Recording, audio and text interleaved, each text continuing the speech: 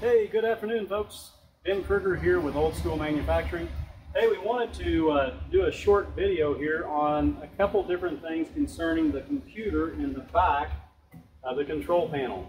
You notice it says iDEC right up here. Uh, there's a couple different things that can cause error with this. Um, probably one of the most common is low PLC battery. That's indicated on your monitor. We showed you that here at the beginning of it. So we want to talk you through that first and foremost. A couple different options here. Um, number one, you should shut the power off your monitor so we have no lights on our uh, on our computer here. So Dad's going to shut that off.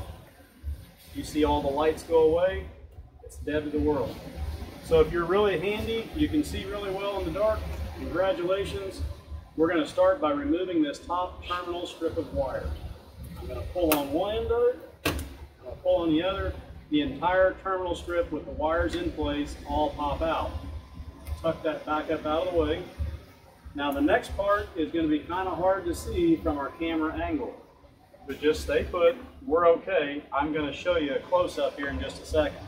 So you can remove that top terminal strip of wires, reach in here with a small flathead screwdriver like I have, pop your battery out. Don't worry, there's a close-up coming, don't get upset at me. I just want you to see you can do this without removing it all. There's our battery. It slides right up out of there, okay?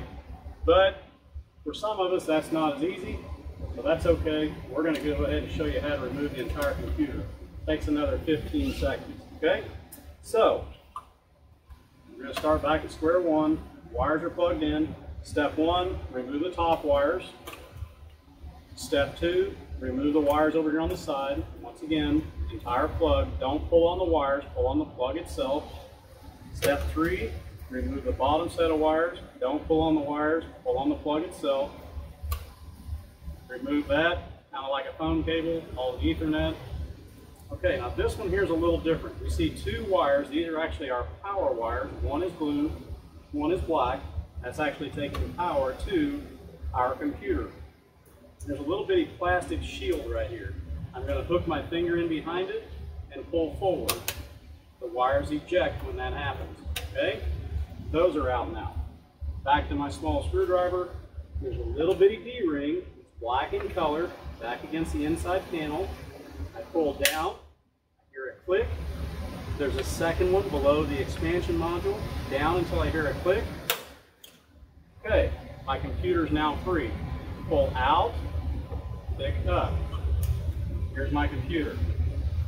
Now you can see our battery slot here a little better. Before, what I did was I took my screwdriver, went in, pulled up, so I can get my fingers around it, pull my battery out, put a new battery in it, put it back in place, done, okay?